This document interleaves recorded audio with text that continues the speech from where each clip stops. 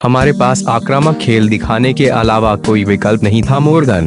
Dubai, Kolkata Knight Riders K K R के कप्तान Eoin Morgan ने इंडियन प्रीमियर लीग के महत्वपूर्ण मैच में रणनीति के अनुसार खेल दिखाने पर खुशी व्यक्त करते हुए उनकी टीम राजस्थान रॉयल्स के खिलाफ मैच में आक्रामकता के साथ खेलने उतरी थी, क्योंकि उनके पास इसके अलावा कोई और रास्ता नहीं था।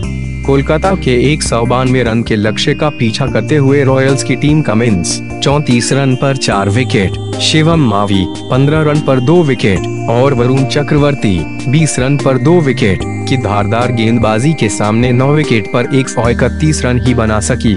नाइट राइडर्स ने मोर्गन की 35 गेंद में छह छक्कों और पाँच चौकों की मदद से नाबाद अड़सठ रन की पारी से सात विकेट पर एक सौ इक्यानवे रन बनाए थे। हम अधिक जोखिम उठाने के लिए तैयार थे। मोर्गन ने मैच के बाद कहा कि मैंने सोचा था कि एक सौ इक्यानवे रन का स्कोर प्रतिस्पर्धी रहेगा। मुझे लगता है कि आउट होकर लौटे प्रत्येक बल्लेबाज ने कहा था कि विकेट बल्लेबाजी के लिए शानदार है।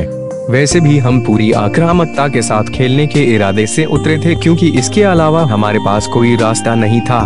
जब हम बल्लेबाजी कर रहे थे तो अधिक जोखिम उठाने के लिए तैयार थे। मोर्गन ने कहा कि ओस उम्मीद से काफ़ी पहले गिरने लगी, जिससे रॉयल्स की टीम फ़ायदे की स्थिति में नहीं रही।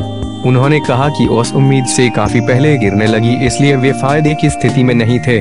पाँच विकेट बनवाने के बाद जीत दर्ज कर पाना बेहद मुश्किल था। स्मिथ रॉयल्स के कप्तान स्टीव स्मिथ ने स्वीकार किया कि पावर प्ले में पाँच विकेट बनवाने के बाद जीत दर्ज कर पाना बेहद मुश्किल था। स्मिथ ने कहा कि मुझे लगा कि यह 180 रन के आसपास का विकेट था। थोड़ी ओस थी। पावर प्ले में चार विकेट, पाँच विकेट, बनवाने के बाद वहाँ से वापसी करना काफ़ी मुश्किल था। कमिंस ने अच्छी लाइन और लेंथ के साथ गेंदबाजी की और हमें अच्छी गेंदों को भी खेलना पड़ा